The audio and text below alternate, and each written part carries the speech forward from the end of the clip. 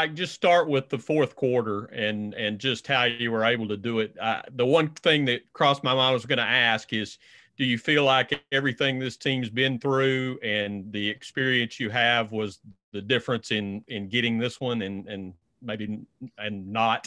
Yeah, no question. Yeah, the the things that the close games we have been in, the times that we've uh, either had a lead or needed to come back, they they start with score stops and scores and stop scores and stops, a drill that we do weekly, uh, still, even though we're late in the year.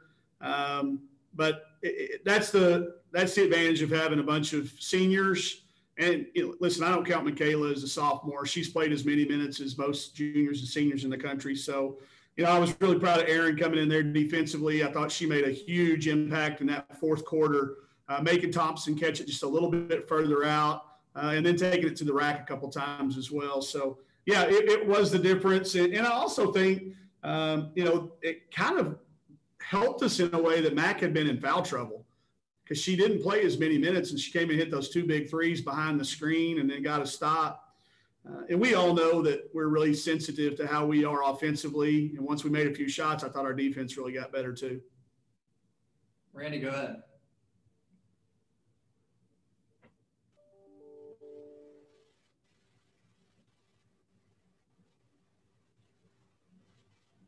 Randy, we got no audio on you for some reason. Yeah, you're off. Let's say. We can't hear you, Randy. That beard may be underneath your microphone. And I can't read lips. I'm a horrible lip reader. Maybe you can type it or something.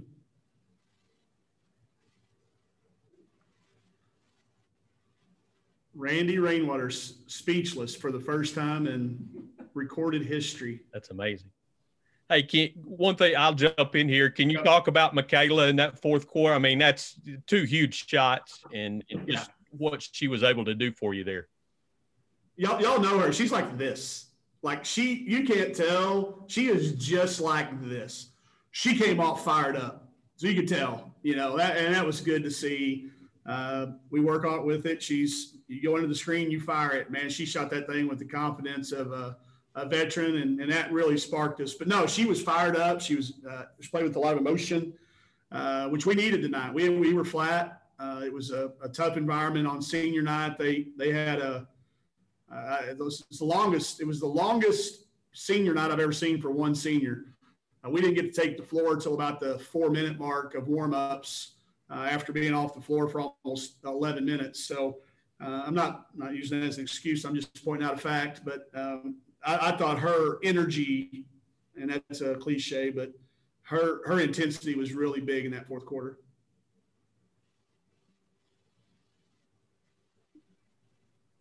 Yeah, we still don't got you, Randy. I'm not sure what's going on. Huh.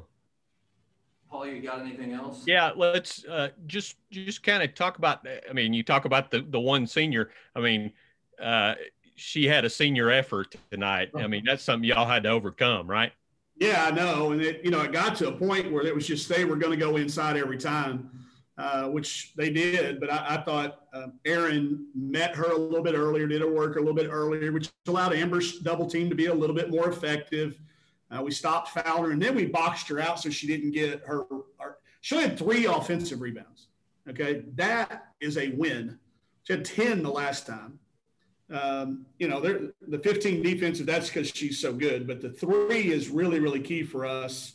Um, you know, we had a lot of opportunities to lose that thing. We gave up four free throw box outs. Uh, we had some very uncharacteristic turnovers in the first half, throwing it off each other's chests and face and, you know, doing some uncharacteristic things. But um, yeah, I, I, thought that uh, Unique Thompson is a very, very special player. Uh, who's been really, really impactful in our league. And I, I still say that they're the best 0 14 team to ever play the game in the SEC. Jason, go ahead. Hey, Coach uh, uh, Amber, getting back on track offensively, and then holding them for one for nine. I know you talked about it a little bit, but just how critical that was during that four minute stretch there, going one for nine from the floor.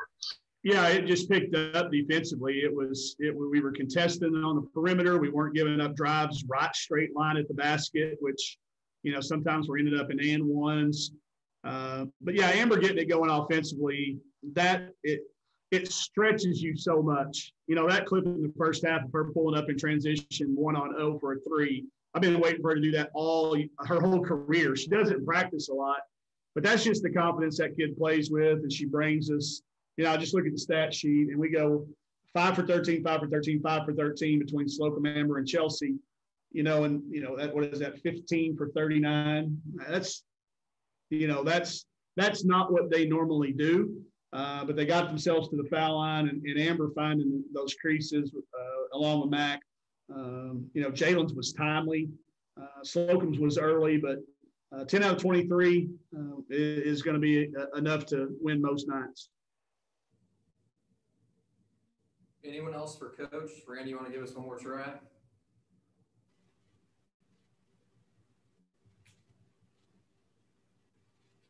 Strike three. Just how cri- how critical. Sorry, go. Go ahead, Jason. How, how critical a win was this? I, I know the, as we talked about the other day, just trying to stack these up and not having a bad loss, you know, down the stretch. You answered my, you answered it right there. That's what it would have been, you know, mathematically. It wouldn't have necessarily felt like that because I, have got a lot of respect for Auburn, but you know, it, it would have given the committee reason to, to take us out of the conversation. Um, they, they moved the uh, reveal up to five o'clock. I saw on Sunday. I think we tip at five. So I got to think we've got ourselves in the conversation for being one of the, the top 16 seeds. Uh, the way we've been playing down the stretch and, and what we've done, the body of work, uh, the number of top 50 and 100 opponents that we played. I'll be really interested at tip. I'll be I'll be looking at Mario. Oh, I'll be kind of cutting my eyes to see if we're in it. Whether we are or not, that's fine. I know that we're in the conversation and and that's a really really cool place to be. And yeah, Jason, this a loss here would have eliminated that from a possibility, which would have been the end of the season. Uh, but I think did Alabama win? They lost tonight. They lost. So I think if I look at it right, we're playing for that maybe five or six, the sixth seed, six seven on Sunday. And after the what you know that atmosphere that our men had for the Alabama game, I hope we can get something similar to that for our seniors on Sunday. Anybody else for coach? Randy, call me tomorrow. I'll, I'll hop on there with you. Coach, what was the um, the locker room like at, at halftime and then after the game? There was no locker room. I don't let them. The locker room here was about the size of my first two apartments in Seattle. Uh, I could touch the wall on both sides with my hand and my foot. So uh, we had a makeshift area set up down in the, in the tunnel. And I told the, a couple of my card council kids as we were walking off the court, that we the coaches weren't coming in there until the very last second. Y'all y'all get down there and talk to each other. Don't wait for us. Y'all talk to us and get this thing talked about before we get in there. I want to know what y'all talked about.